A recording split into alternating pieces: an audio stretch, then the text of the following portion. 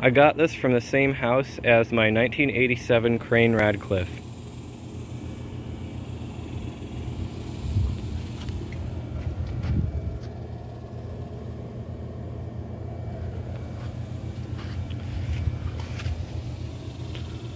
Just like that one, this one appears to be in somewhat good condition.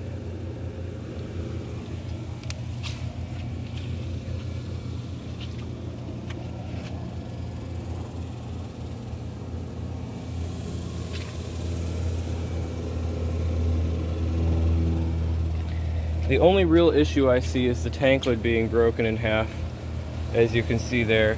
But I have another Cadet 2 tank lid, so I can just trash this one.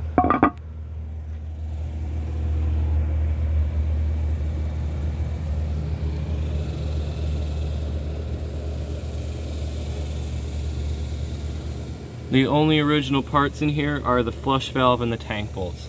The handle's clearly a replacement, the fill valve and flapper are also replacements. And this handle is so white, it makes this toilet look beige.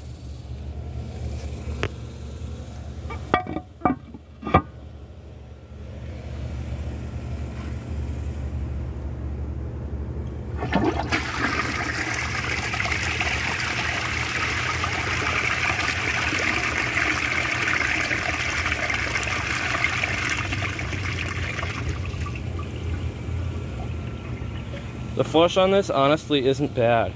I would prefer if it siphoned or at least gurgled a little bit. Not because I'm a fan of gurgles or anything, but it would just tell me that it siphoned out and not just acted like a washdown.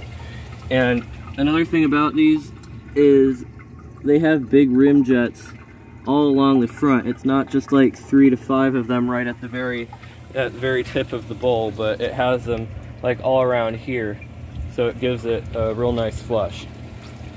If you enjoyed this video, please subscribe and turn on notifications.